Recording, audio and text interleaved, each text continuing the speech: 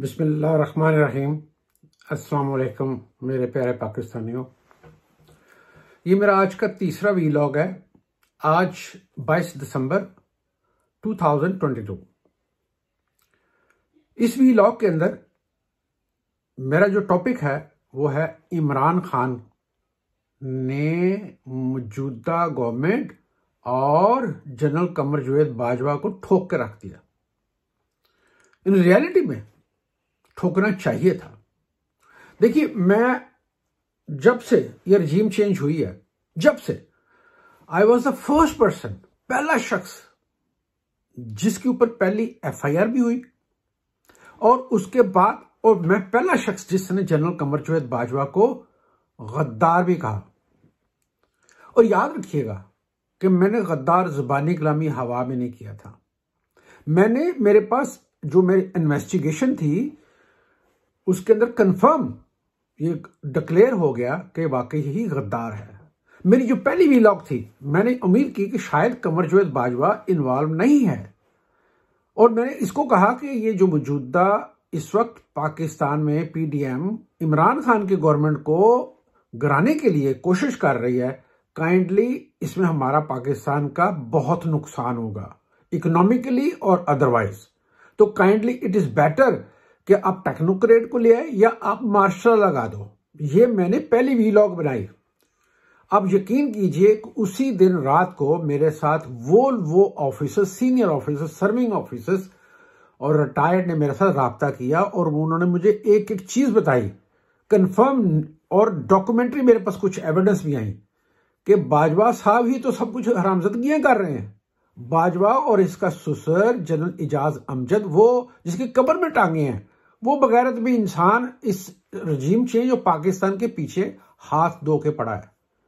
मुझे यहाँ तक बताया गया कि जनरल इजाज अमजद का जो मकसद है, वो है पाकिस्तान को तोड़ना और पैसा लूटना और इंडिया के अंदर जो उनका एक शहर है, कस्बा है, उसको वापस लेना, क्योंकि उनकी आबादात की जगह वहाँ पे है।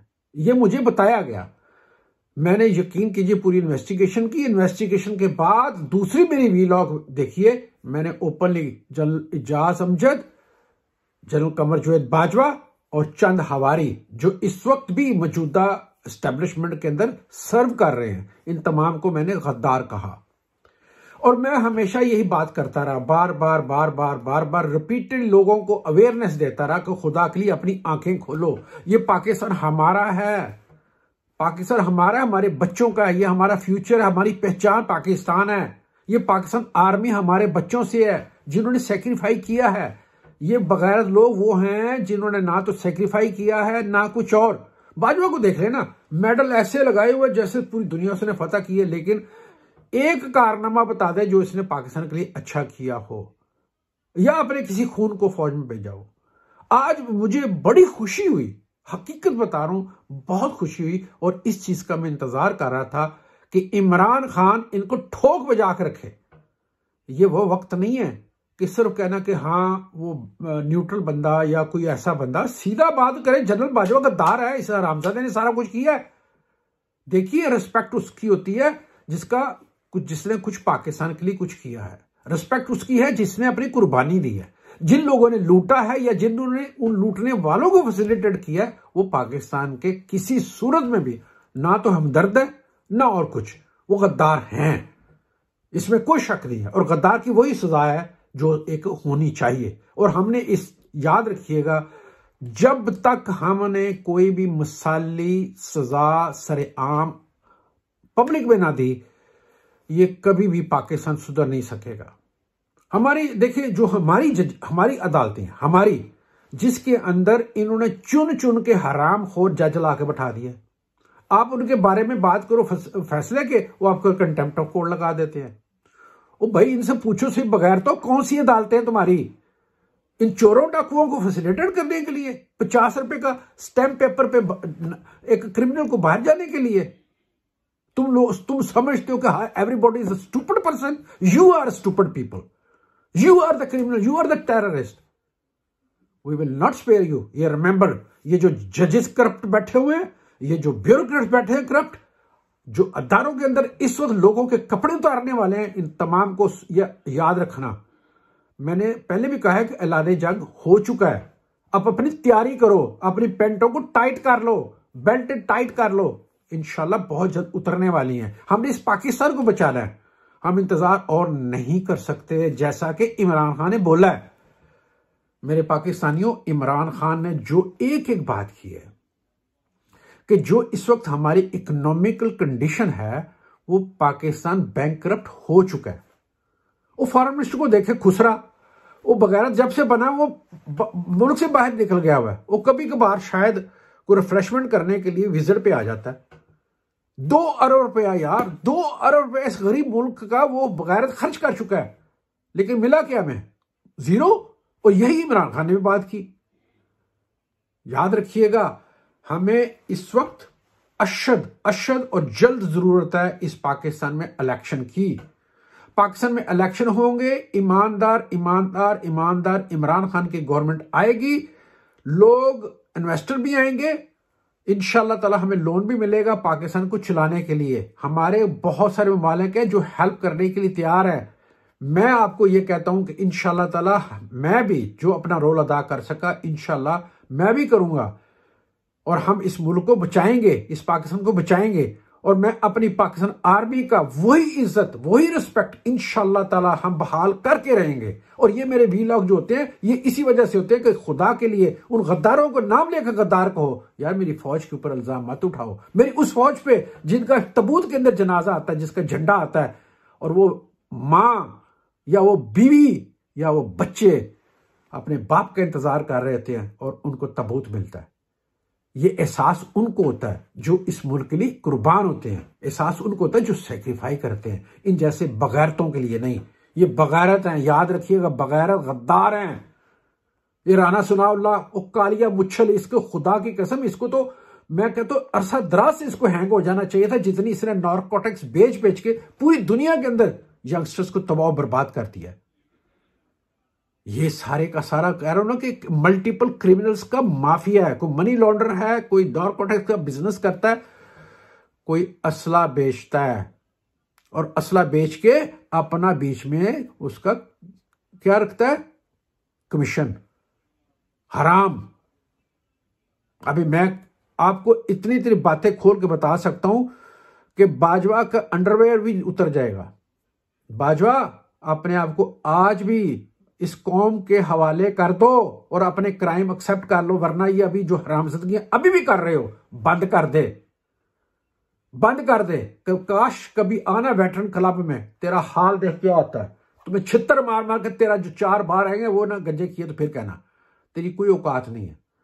आर्मी चीफ की बहुत इज़्ज़त होती है, बहुत, इस खाकी की बहुत इज़्ज़त है। लेकिन बगैरत इंसान, तूने इस खाकी के डिस्ग्रेस की है, इस यूनिफॉर्म इस स्टेटस की डिस्ग्रेस की है।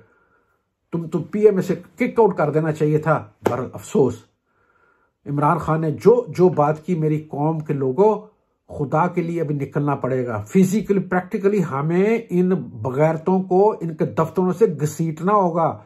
इनको ऐसे लटकाना होगा जैसे लाहौर में मुर्गियाँ लटक रही होती हैं, गोश्त को कड़ी, कड़ाई गोश्त खाने वाले। इनको लटकाना होगा। इनकी औकात क्या है? चोर, डाकू, गद्दार इनसे नहीं डरते मैं जनरल आसिम मुनीर से खुदा के वास्ते हाथ जोड़ के रिक्वेस्ट कर रहा हूँ, हाथ जोड़ के। Though you are my younger brother though you are my junior also I request you please खुदा के लिए इस पाकिस्तान को बचा लो और इस मेरी पाकिस्तान आर्मी को, इज़्ज़त को वही बहाल करवा दो जो मेरी पाकिस्तान और अवाम के दरमियान एक मोहब्बत थी। इस बाजवा को अरेस्ट कर लीजिए प्लीज़ ये डर्टी हैरी और लाबला बगैरतों को अरेस्ट कीजिए, इनके कोर्ट मार्शल होने चाहिए। इन्होंने पाकिस्तान आर्मी का इन रियलिटी में, इन रियलिटी में इन्होंने इज़्ज़त खराब की है। अभी भी जो टीटीपी को सपोर्ट कर रहे हैं, यही लोग हैं। इन लोगों को पाकिस्तान के, लोगों को बचाना चाहिए या पाकिस्तान को लोगों को मरवाना चाहिए? ये याद रखिएगा। मेरी कल मैंने सेकंड वीलॉग में बोला है कि मेरी कल तालिबान के उस बंदे से बात हुई जो एक उनका इन रियलिटी में बड़ा उसका होल्ड है गवर्नमेंट के अंदर। उससे पहले भी मेरी बात हुई कंफर्म किया उसने, कसम उठा के कंफर्म किया, तालिबान कसम नहीं उठाते कि उनका इन टेररिज्म के पीछे कोई हाथ नहीं है। लेकिन उनके पास इंफॉर्मेशन है कि टीटीपी को हमारे ही लोकल एजेंसी जो पाकिस्तान के अंदर है, वो सपोर्ट करते हैं, उनको इस्तेमाल कर रहे हैं। इस मकसद के लिए कि लोग उसकी तरफ़ देखें, हमारे यहाँ टेररिज्म हो रही है। उसमें ये हो रहा है, ताकि ये बाजवा की जो करप्शन है, ये जो बगैरत जो इस वक्त गवर्नमेंट है, इसकी करप्शन या वो जजेस जो इनको सपोर्ट कर रहे हैं, इनकी तरफ़ ध्यान न जा सके।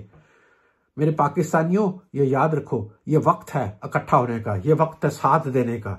हम इमरान खान के साथ खड़े हों, अल्लाह ताला ने हमें एक लीडर दिया है तो हम उस लीडर की इज़्ज़त करें।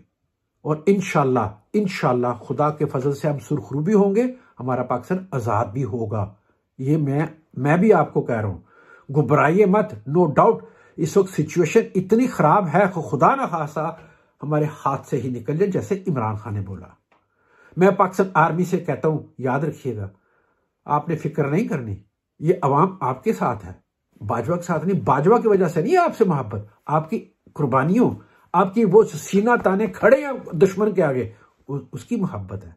अल्लाह ताला आपके ऊपर इन ताला ये पूरी कौम अपनी आर्मी के पीछे खड़ी है। जनरल आसिम, पूरी कौम आपके साथ खड़ी है, हम सारे आपके साथ खड़े हैं। हम आपको मज़बूत करेंगे इन करप्ट लोगों को मुकाबला करने के लिए, इनको हटाने के लिए। हम चाहते हैं इस पाकिस्तान में एहतसाब हो, हम चाहते हैं इस पाकिस्तान में अमन हो, हम चाहते हैं इन क्रिमिनल्स को, टेररिस्ट को सजा हो। हम एक हों और एक कौम बन के हम पाकिस्तान को इतना मज़बूत करें कि किसी की ज़रूरत ना हो पाकिस्तान में उंगली उठाने की। पाक फौज, जिंदाबाद, पाकिस्तान पैदाबाद अलैक्म